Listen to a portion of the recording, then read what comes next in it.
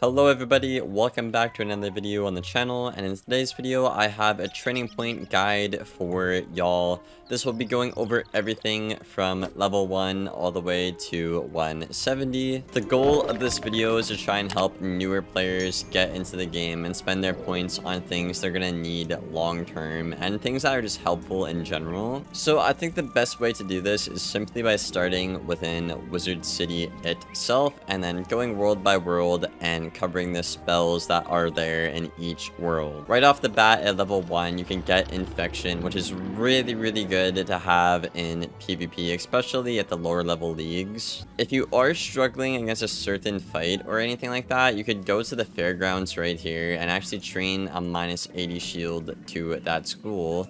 Or you could go to uh, one of the school trainers and learn a set shield to two schools, which is also pretty good. Alrighty, so next up we are in Krokotopia. Now we have a couple of spells here. There are some like minion spells you could train here. I recommend not getting them though. They're like really, really bad. Same thing with Marleybone and the next world.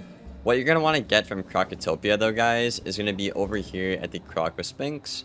Basically the ice area, the second big milestone in Krokotopia. And you're going to want to talk to Niles. Now, Niles is going to offer you four things. He'll have Spirit Trap and Elemental Trap, and the same thing with the Blades. Now, generally, I would recommend, honestly, training both of these, because one is going to help you for your school, unless you're a balance, but most of the game, these will help you. And training the other one that is not for your school is still pretty helpful, right? Because Wiz is a game where you might have teammates and you might want to buff up the other guy who might be a higher level or might have better stats than you. So generally, early on in the game in Krokotopia and stuff like that, I would definitely recommend training Elemental Blade and getting Spirit Blade as well. You could get Elemental Trap or Spirit Trap. Personally, I never ever did this, even when I was a noob, and still to this day, I don't really get it unless I need it for like a very specific like advanced content fight or something like that. At this point in the game as well, you can train spells like weakness and you can also train spells like tower shield because you'll probably be like level 20 or 25 by the time you're done Krokotopia. So I'd recommend getting a spell that can debuff, so either weakness or tower shield. I think it's time you're gonna backtrack to Ravenwood and train one of the most important spells in the game. Realistically, you have two options. One is you can get Feint from the Death School. This spell is just like incredible. It's so good on every single school. Like this is a, a must-have no matter what you are like a storm or like a balance or a life support or if you want to you know not be so buff heavy you could invest into satyr as well right? Satyr is pretty good early on in the game, and I know personally I use Satyr quite a bit as a newer player. If you guys are going to use Satyr or whatever, be sure you go to your spellbook and then you go down here and click on a life pip. This will basically allow you to have like uh, a life mastery pretty much if you have two life pips that's like equivalent to a life mastery which will be more efficient. So just a little recap, we would be level 50 going into Celestia, so you should have probably like a tower shield or a weakness. Ideally tower shield, I'd recommend. Uh, either a satyr or a feint trained at this point, and then also having spells like elemental blade and maybe a set shield or two to a school you might struggle up against in PvE. Celestia actually has a lot of content in terms of spells. Now you have sun, moon, and star, I believe. Now, the most useless one is Moon. Moon was really cool. Like, when I was a kid and stuff like that, I had a lot of fun with Polymorph, but unfortunately, these artists kind of, you know, got outdated, left in the dust, you know.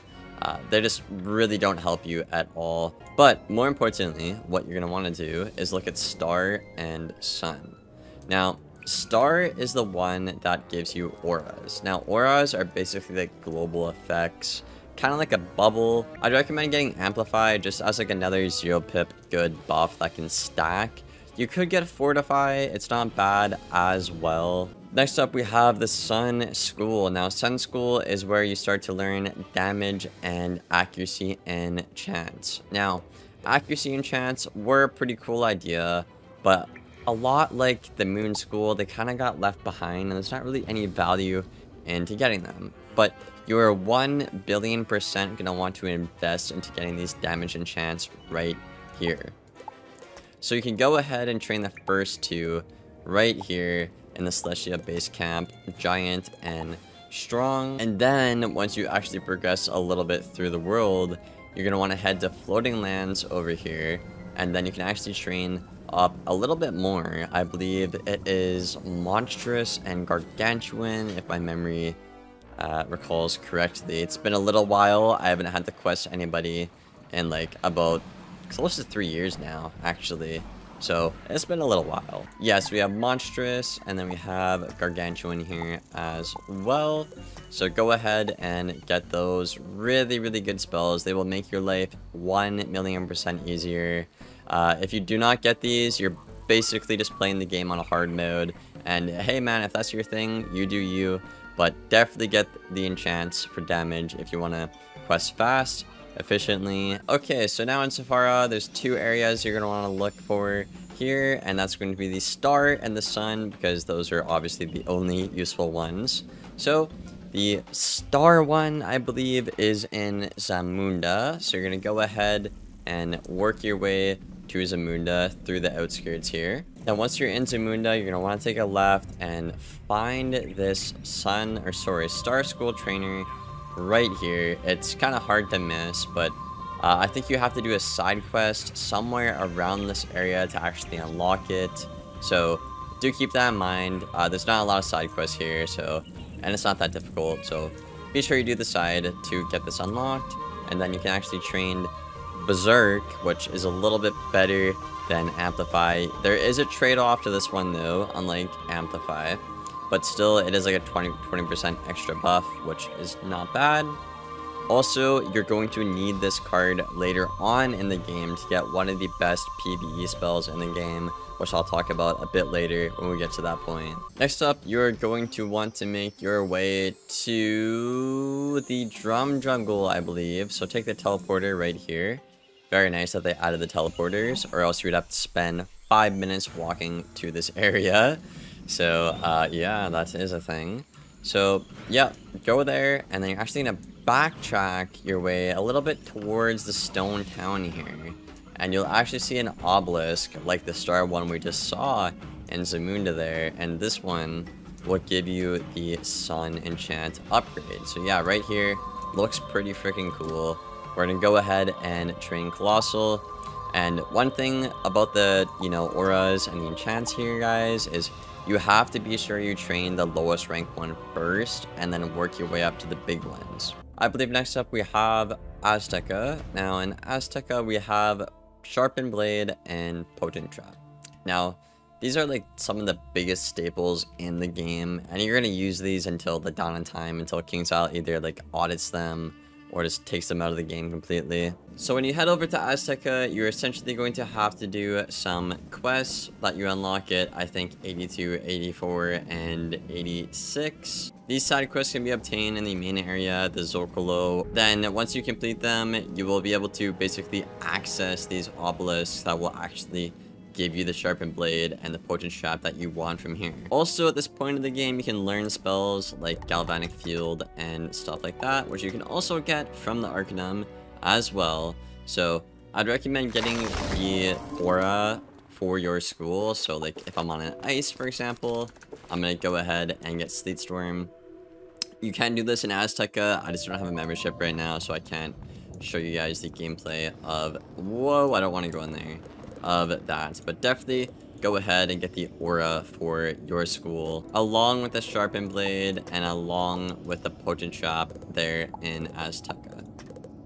Then after Azteca, you could go to Khrysalis, I suppose, and learn a shift spell or like a Dark Nova kind of spell Although you could get, you know, shadow stuff right here in the Arcanum as well. If KingsIsle can ever make like a Moon School pip or something like that, kind of like how Archmastery works right now in game, I could definitely see those Moon School spells in Khrysalis being used and maybe even being meta in like PvP. But for now, I'd recommend not getting them. And in terms of shads and stuff like that, what is what you can learn in Khrysalis or in Arcanum, I think every school should get Shrike. It's really good for PvP, uh, even advanced content as well. And also like PvE, it's just really good to like get around a tower shield or a cheating boss that may double shield and have a brace. Also, Dark Surge is incredibly good in PvP. It's part of the meta right now. And in PvE as well, it's just really handy. Uh, in PvE though, I'd say you're probably just better off going for like your whatever AoE shad you have. But if you don't want to do that, Dark Surge is also a pretty good option to do. And that leads us back to the Arcanum, which is basically where I've been at this entire time, and I've been yapping. So this basically is going to be marking the end of our journey, I believe, if I recall correctly. I don't think there's anything after like level 110 in terms of spells, training points that uh, you can get that are like deemed useful or anything like that. So this guy will be the last guy to help you and stuff like that. So you're going to want to get Epic right here, which is only obtainable if you have Colossal. Like I said, you have to get all of the noob ones first. So go ahead and get Epic. And also, you'll see this card called Frenzy. Now, this is a lot like the Berserk card we got in Zafaria, but the difference is this one actually helps you more. Also, Aegis and Indemnity are pretty good for PvE as well, and a couple of cheating bosses in the game might require them for a specific kind of strat. If you are a life wizard or you really like to heal, you could definitely pick up this spell right here, which basically enchants a heal. And yeah, I think that's pretty much it for the video. That's everything important and mandatory. Pretty much covered everything in my video. I hope you guys enjoyed it. I hope you found it useful. If you made it this far, leave a like and a sub. And uh, yeah, if you have any questions, I will try to answer them all to the best of my ability in comments below. And uh, yeah, thank you for watching, guys. And I'll see you on the next one. Take care.